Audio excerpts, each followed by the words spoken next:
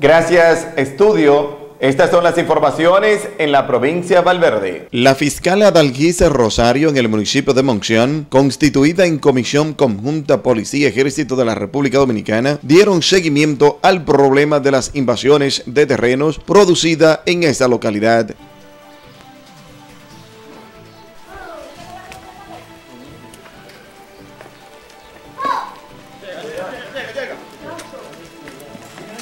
Cuatro ahí, cuatro ahí. más quedan allá, los demás quedan allá. Quedan allá, todos allá.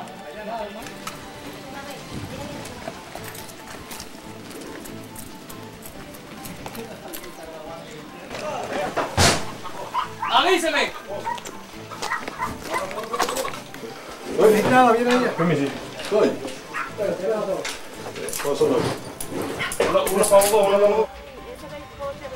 Nosotros le decimos no al falso de ilusión.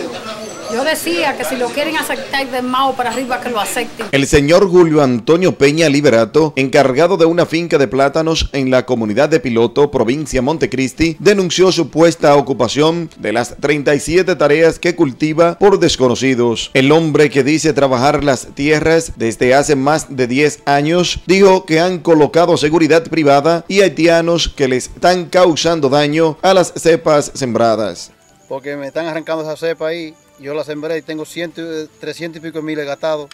Tienen dos haitianos ahí y dos seguridad aquí. No puedo entrar a mi finca. Los pobladores del Distrito Municipal de Pueblo Nuevo Mao se quejan de la gran cantidad de nacionales haitianos indocumentados que han invadido su comunidad, quitándoles oportunidades de empleo a los dominicanos y muchos siendo parte de bandas de delincuencia organizada que operan en la zona. Ve, aquí había como, como, como, como 30 gente, habían cinco dominicanos y como 30 haitianos.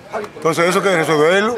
El licenciado Pablo Rodríguez denunció que mientras se encontraba realizando una transacción en un cajero en el municipio de Esperanza, dos individuos le clonaron la tarjeta de crédito, tras lo cual recibió una llamada de la entidad bancaria sobre un retiro en la provincia Santiago Rodríguez. En Santiago Rodríguez de 3 mil pesos. Yo le dije que no, que yo me encontraba en la zona franca de Esperanza, en el cajero, intentando hacer un retiro. Sin embargo, yo no pude hacerlo. Eh, y me dijeron que iban a cancelar dicha tarjeta. Yo le dije que sí. Sin embargo, después de ese retiro, hicieron cinco retiros más. Después que el, el mismo banco me dijo que iba a cancelar dicha tarjeta, hicieron cinco retiros más.